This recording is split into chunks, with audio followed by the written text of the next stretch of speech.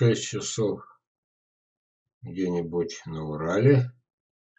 8 у меня в Хакасии, Краснодарском крае, в Москве 4 часа после полудня.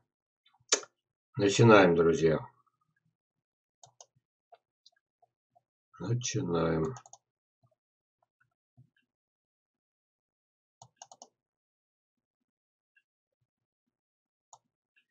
О боже мой, 152 вебинар. Самое интересное, что у меня готовы. Сейчас покажу. 153, где они тут? 154, 156, 157, 158 и еще, еще несколько в резерве. Вот. Три часа говорим каждую неделю, а все рассказать не могу. И вот что интересно, друзья, вы сейчас убедитесь в том, что я повторяюсь, но как, или под другим углом, так, или по другому вопрос поставлен, или речь пойдет о том, что надо расшифровать таким образом, что э, тем, казалось бы, которым уже все ясно, все равно не ясно было. Не так все просто.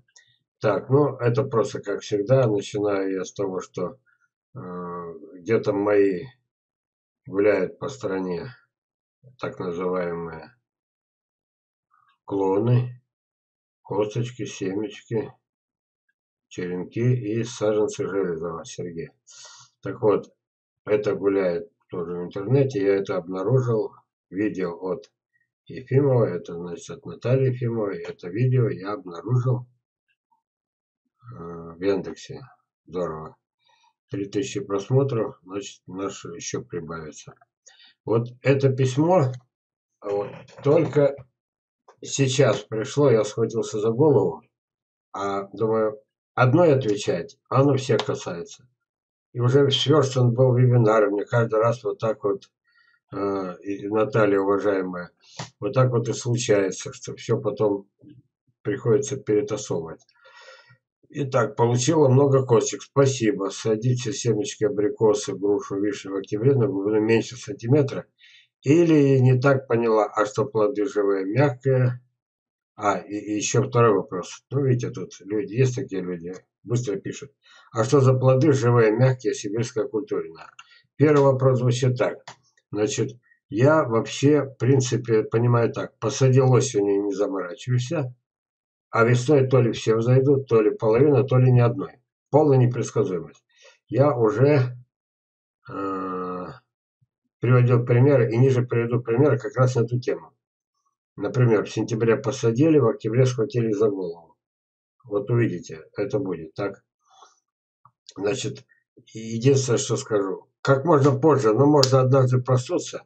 Такое было всегда. Жил на Украине, Вроде бы осень, а утром просыпаешься, метр снега. Это было у меня в Западной Украине, да. Это было в Норильске, это было и здесь то же самое. Вот. Поэтому все хорошо вовремя. Но совет, чем ближе к зиме, тем меньше напасть, напасти будет. То есть, может, еще осенью посадил, допустим, сентября, она еще проснется, еще и осенью так проснется, что ее зиму уже не пережить. Вот о чем речь. Поэтому я решил так. Советую всем стратификацию. Возьми больше. Или ваш, наш ваш страх и риск поближе к зиме, или 50 на 50. Вот. Так, теперь. Что-то, что за плоды живые мягкие? Это значит, что вы, уважаемая Наталья, не заказывали у меня сибирку. Тут вы написали культуренная, а она правильно называется окультуренная. Вот. И вы мне дали повод показать вам эти самые плоды. Сейчас я вам покажу.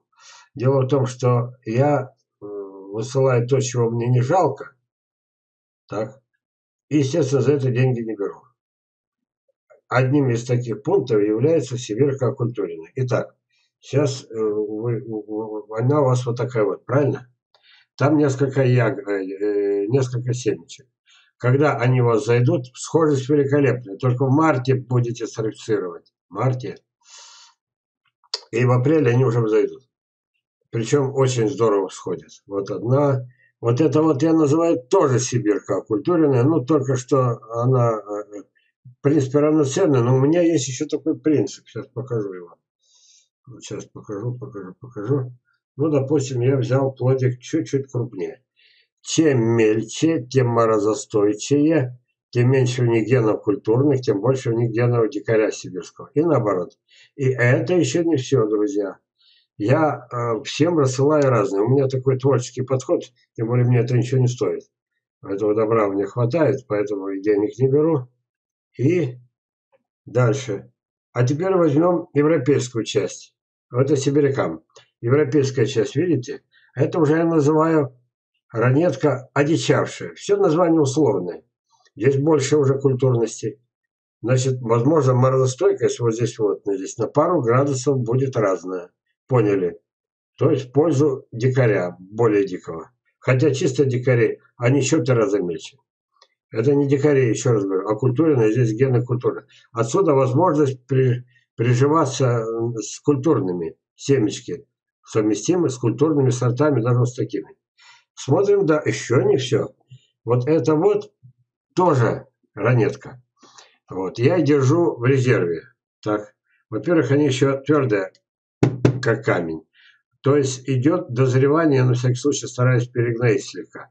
Вот. Это уже для Европы. Так, и уже и это будет называться или, они тоже все разные, я выбрал крайности, или будет называться Сибирка одичавшая. Ну как еще, слегка дешевле писать. Или уже ранетка ой, не так, э, ранетка одичавшая, или уже я буду писать просто ранетка культурная. Почему? Вот она культурная ранетка. Видите, сейчас. Ага, видите, вот она культурная ранетка. А вот а она ждет перезревания и тоже семечек. Но если вот эти я высылаю плодиками, вот эти вот, они небольшие по весу, и меня не разорят, что я вам дарю их, то вот э, из этих уже ковыряю семечки. Вот. А это резерв. Когда закончатся вот эти, у меня всего одно дерево, тогда я перехожу на эти, называю их ранетка культурная. Это тоже ранетка. Теперь, когда вы привьете, понятно, это только подвой. Это может прижиться и расти-расти, вы на нее привьете культурную, а культурная пойдет, не пойдет. Это может вырасти, учитывая, что на ней культурная поживет хотя бы немного, она может вырасти такой же и даже крупнее и стать вполне приличным яблочком. То есть вы включаете в состав селекционеров. Нас мало, но мы в сильняшках, имейте это в виду. Вот вам все показал, рассказал. Вот, то есть творческий подход, творческий подход, ребята, а не просто так.